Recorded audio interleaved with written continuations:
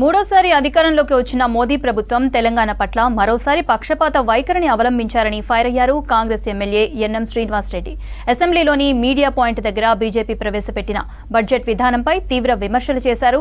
కేంద్రం నేడు ప్రవేశపెట్టిన బడ్జెట్లో ఈసారి కూడా రాష్ట్ర ప్రాజెక్టులకు మొండి చేయి చూపించారని అన్నారు. పాలమూరు రంగారెడ్డి ప్రాజెక్టుకు జాతీయ హోదా ఇవ్వకపోగా నిధులు కూడా సరిగ్గా కేటాయించకపోవడం దారుణమన్నారు. కేంద్రం తెలంగాణ పట్ల నిర్లక్ష్యం చూపిస్తున్న బీజేపీ ఎంపీలు ఎందుకు నోరు మెదడపం లేదని ప్రశ్నించారు ఎమ్మెల్యే ఎన్ఎం. మూడవసారి అధికారంలోకి వచ్చినందుకు మోడీ గారు ఈరోజు బడ్జెట్ ప్రవేశపెట్టారు.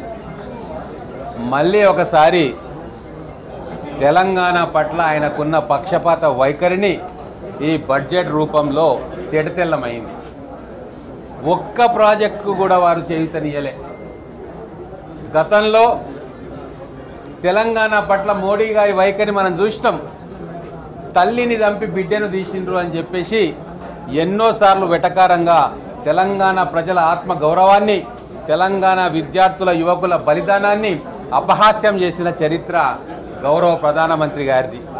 మరి ఆయన మనసులో ఏం విషం పెట్టుకున్నాడో కానీ మూడవసారి బడ్జెట్ ప్రవేశపెట్టినా కూడా మూడవ టర్మ్లో తెలంగాణ పట్ల వివక్షనే. ఒక్క ప్రాజెక్టుకు కూడా సాయం చేయలే. మరి తెలంగాణకి ఏం చేసిండయ్యా అంటే మా పాలమూరు రంగారెడ్డికి ప్రాజెక్టుకు నిధులు ఇవ్వలే. ఇక్కడ అయ్యం మీకు ఇయ్యము అని చెప్పి లెటర్ రాసిండ్రు. ఇక్కడ విద్యా సంస్థలను ఇవ్వలేదు ఇక్కడ పారిశ్రామిక కారిడార్స్ను కూడా ఇవ్వకుండా పూర్తిగా బడ్జెట్లో తెలంగాణ రాష్ట్రానికి మొండి చేయి చూపించిండ్రు. ఎనిమిది మంది ఎంపీలను గెలిపించింది తెలంగాణ ప్రజలు. పక్క రాష్ట్రంలో కేవలం మూడు మంది ఎంపీలు గెలిపించింది మరి ఈరోజు ఎనిమిది మంది ఎంపీలను గెలిపించి మేమే ప్రత్యామ్నాయం అని చెప్పి గొప్పలు జరుచుకుంటున్నాం. బీజేపీ నాయకులు సమాధానం చెప్పాలి.